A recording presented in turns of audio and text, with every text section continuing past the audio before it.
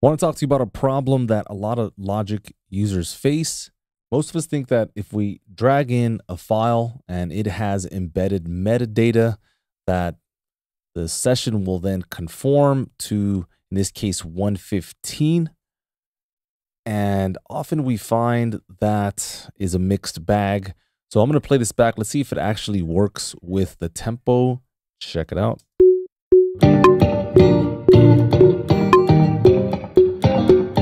Right, so we hear that it's pretty much in time, but uh, you know, at this point, most of us would just like align this to the downbeat, right? We would look at the waveform, look at the the transient, and just see how it lines up. So let's see if this measures up here on this track.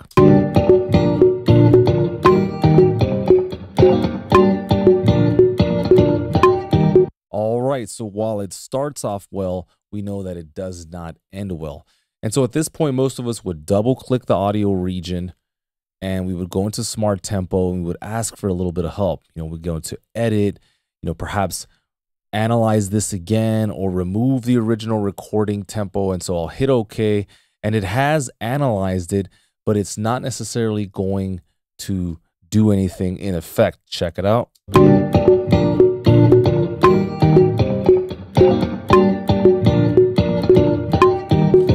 Right, so again, it's not necessarily working. So something you can try is apply the project tempo to the region and downbeat. That may be something that helps. Let's see.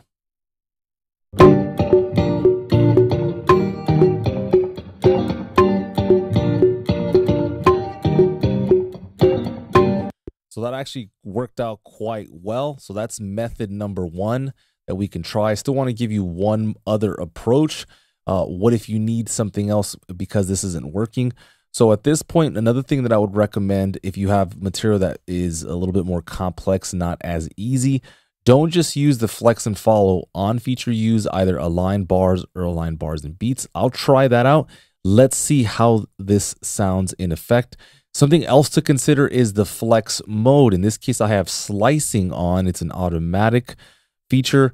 Uh, for something uh, you know of this nature, it's probably better to use rhythmic or polyphonic. So I'll choose polyphonic, probably the more, more complex of the algorithms. And let's see what this sounds like.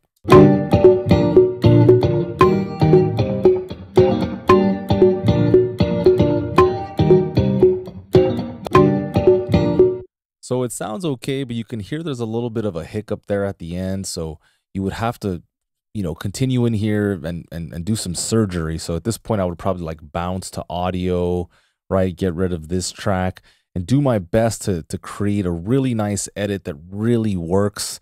Let's see if this sounds um, fairly realistic. Let me go ahead and chop off the beginning of that. And so let's see if this edit works.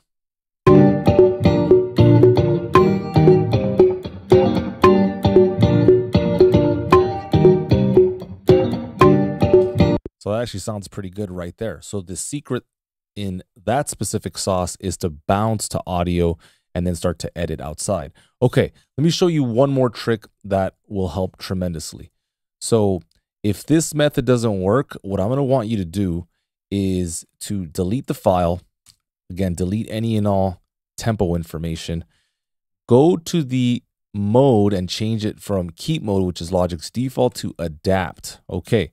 So then from here, we're going to drag in that same file and logic is going to, in this case, not create a variable tempo map because it doesn't know, right? This file has tempo that's not correct.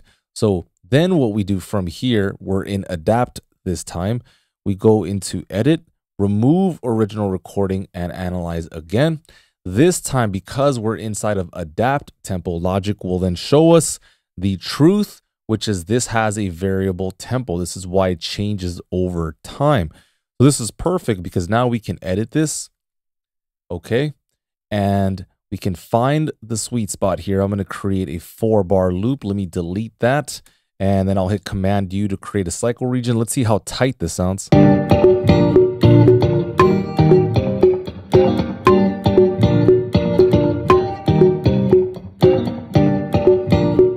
Can go ahead and just write the music like this. You can have everything follow this variable tempo map. But for the most part, most of us are going to want a steady tempo. So what do we do now? Again, delete the tempo information and you can do that in the global lane here as well. And then we set this to your value. I'll do 115 to start. Again, I want to check to make sure that this is a perfect integer. It's not. I can see that it's a little shorter than it needs to be. So that's something that needs to be considered. Let me show you some workarounds. Inside of flex and follow, we're going to want to turn on either align bars or align bars and beats, and that will get you there. So what's happening underneath the surface, just to be clear, is that Logic is analyzing by way of transient flex markers and the smart tempo uh, markers as well. And so that is going to help you when it comes to making these kinds of decisions. And the last thing I want to point out, like I did before, please do not let Logic choose the flex time algorithm for you.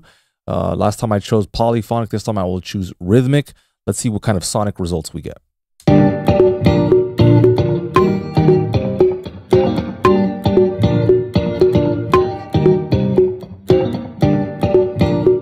Very good. One last recommendation before we go. Always bounce these findings, your results to audio, right? So we want to make sure that we bounce everything because a lot of this tech can be very volatile and when you do bounce, again, use the marquee tool or the scissors, create a perfect edit. How do you know if you made a perfect edit? If you hover below the right or leftmost corner of any region, you click and hold, you can see the length, right? In my case, I have three, three, three, two, three, nine. And so uh, I'm going to hold control shift and try and modify this so it reads a perfect 4000. And if you ever have problems with that, again, all you have to do is create a selection and hit either Command J or Control B to bounce to audio. And then that should get you there. Let me just confirm this to be sure. You can see it says 4000, which means four bars, zero beats, zero divisions, zero ticks. All right, this is Eddie Grey, the Logic Sensei, signing off. If you're liking the content, go ahead and subscribe. And if you're loving the content, go ahead and hit that notification bell. Thank you guys very much for the support. We will catch you on the next one. Cheers.